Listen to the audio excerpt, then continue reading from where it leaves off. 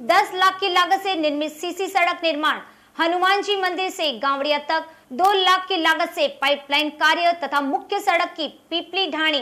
भील बस्ती एवं पीपली ढाणी भील बस्ती से निर्मित जीएलआर का लोकार्पण किया। देवल ने बताया कि गौरवपथ सहित रानीवाड़ा विधानसभा क्षेत्र के चार सालों से 350 किलोमीटर से अधिक सड़कों की स्वीकृतियाँ प्राप्त हुई हैं। वहीं कर नवनिर्मित चंदा देवी पत्नी मगाराम भील को प्रधानमंत्री आवास का लोकार्पण किया।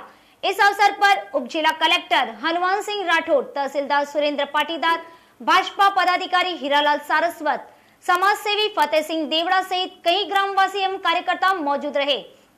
इसी तरह सुरेश गर्ग रोडला की जानकारी के अनुसार जालोर ज़िले के आहोर तहसीलदार भूपती ग्राम के अटल सेवा केंद्र पर न्याय आपके द्वार शिविर का आयोजन हुआ। जिसमें आहोर के खंड अधिकारी मनमोहन व्यास, तहसीलदार आहोर हरि सिंह चारण, विकास अधिकारी इंद्र सिंह राजपुरोहित व आहोर विधायक शंकर सिंह राजपुरोहित द्वारा सरकार की योजनाओं का अधिकाधिक लाभ उठाने की बात कही।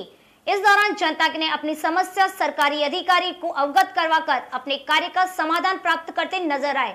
इसी तरह पूराराम थलवाड़ की रिपोर्ट के अनुसार सायलाब खंड की ग्राम पंचायत थलवाड़ में राजस्व लोक अदालत न्याय आपके द्वार शिविर जालोर विधायक श्रीमती अमृता मेघवाल साइला प्रधान जबर सिंह तुरा, उपखंड अधिकारी मुरारीलाल शर्मा, तहसीलदार ताराचंद वेंकट, विकास अधिकारी छोगाराम विष्णु की मौजूदगी में आयोजित किया गया। इस दौरान शिविर में आम जन की राजस्व व अन्य समस्याओं का समाधान किया गया, तथा शिविर में ग्राम पंचायत से आवासीय पट्टा